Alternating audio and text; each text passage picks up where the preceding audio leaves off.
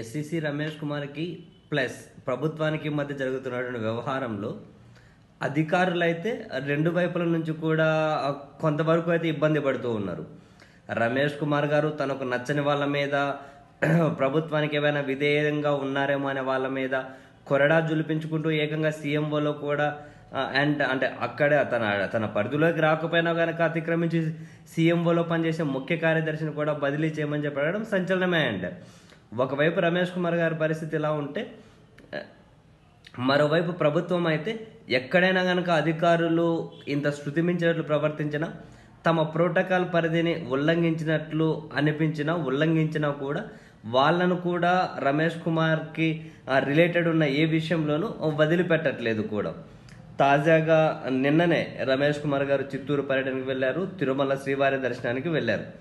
ఎక్కడైనా వివిఐపీలు కనుక దర్శనానికి వెళ్తే కార్యనిర్వహణ అధికారి ఏ స్వా అంటే సాంప్రదాయబద్ధంగా స్వాగతం పలికి తీర్థ ప్రసాదాలు అందిస్తూ ఉంటారు. మిగిలిన వాళ్ళ విషయంలో సాధారణ అధికారులు అనేది స్వాగతం పలకడం తీర్థ ప్రసాదాలు అందించడం జరుగుతూ ఉంటుంది. అయితే రమేష్ కుమార్ గారి పర్యటనలో తన పరిధి కాకపోయినా కూడా TTD JEO JEO Basanth Kumar తన పరిధి కాకపోయినా ఆ పర్యటన అంటే తిరుమలలో రమేష్ కుమార్ గారు ఉన్నంత అశాంతం తాను కూడా తన వెంటే ఉన్నారు. తాను కూడా తన వెంటే దైవ దర్శనానికి వెళ్ళడం ప్రతి క్షణం తనను వెంట పెట్టుకునే ఉన్నారు. ఇది తన ప్రోటోకాల్ నిబంధనలను ఉల్లంఘించడమే కాకుండా తన పరిధిలోని విషయంలో కూడా ఈయన ఎంటర్ అవ్వ ఎంటర్ అవ్వడం అనేది ఒక విధమైన క్రమశిక్షణ రాహిత్యంగానే ప్రభుత్వం భావించినట్లు ఉంది. ఈ ఎఫెక్ట్ అనేది ఇరవై నాలుగు గంటల్లోనే చూపించి ఆయనను ఆ సర్వీసుల నుంచి రిలీవ్ చేసి జిఐడిలో రిపోర్ట్ చేయమని చెప్పింది. ఏ పోస్టింగ్ అయితే ఇప్పటికీ ఇవ్వలేదు.